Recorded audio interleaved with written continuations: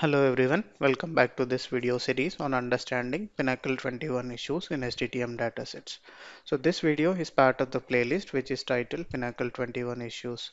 So if you have started watching this video as the starting point, so I suggest you to watch the previous videos because I have covered some de details extensively in the previous videos. So in this video, we will see an issue that may occur in SDTM LB dataset. So here we will actually see two kinds of issues. So the first one is inconsistent value for LB test within LB test CD and the second one is inconsistent value for LB test CD within LB test. So this issue basically arises because if we are not meeting the requirement that within a dataset the LB test CD and LB test should have one-to-one -one relationship. Say for example, we cannot have same test CD but different test values on different records. Uh, alternatively, we cannot have same test value but with two different test CD values.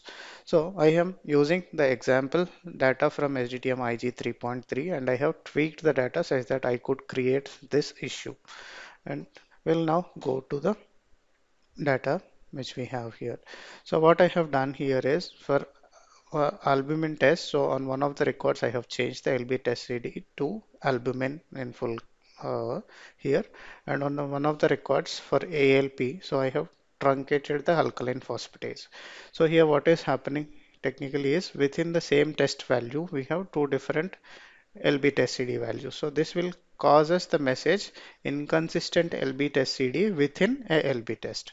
So here in the next case so here if you see we have ALP ALP and we have two different values within LB test. So this would result us in a message saying that inconsistent value for LB test within a LB test CD.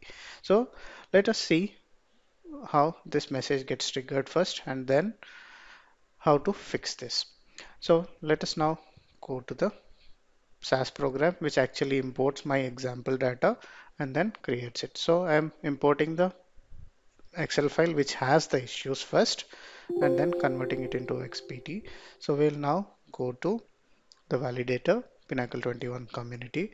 So let us choose the validator. As we are using example data from SDTM IG 3.3, I have chosen the configuration as SDTM IG 3.3. So let us select our XPT file. So I have selected it. I am using the control terminology whichever was available. So it was 25th March 2022. So for this issue, this does not actually um, matter on what control terminology we are using.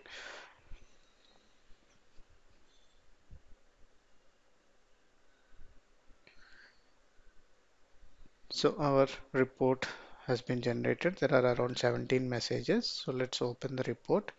So we know what was the issue. So I'm directly jumping into the detail sheet. If you see here, so we have the message inconsistent value for LB test within LB test CD. So this was triggered for ALP, which is alkaline phosphatase. On one of the record, we had alkaline phosphatase, and on the other record, it was truncated. And similarly, we have the message inconsistent value for LB test CD within LB test. So this was for albumin. On one of the records, LB test CD value was ALB. On the other record, it was albumin. So this is showing that message.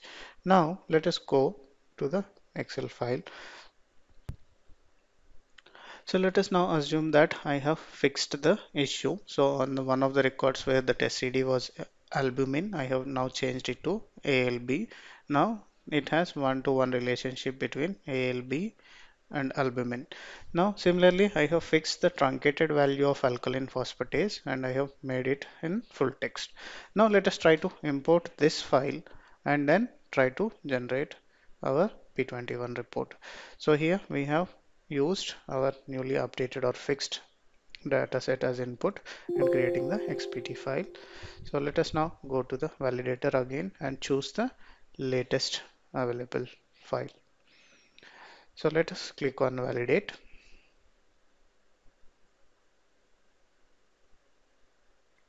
It took some time and then now we have around 12 messages was generated. Let us open the report and then see whether those two messages are now disappearing. So here if we see we do not have the messages which were related to inconsistent value for LB test CD within LB test and vice versa LB test within LB test CD. So one other thing to note here is that other issues also were disappeared here. If you see, there were messages which were saying that LB test value not found in laboratory test name extensible code list. So in the standard control terminology, we will have a test name of alkaline phosphatase and we would not find alkaline PHOSP. So as the value was truncated, this message actually has triggered additional messages which were related to control terminology. Similarly, it also said LB test CD value not found in laboratory test code extensible code list. So it this what this means is that there is no standard control terminology value for LB test CD with the value of albumin.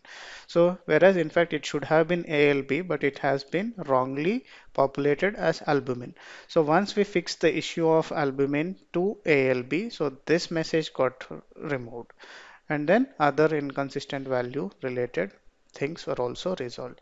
Sometimes, so there can be multiple messages triggered just because of a single uh, discrepancy in your data set. So if you fix that one particular issue, the other messages may also get disappeared on their own. So thank you for watching. Keep learning.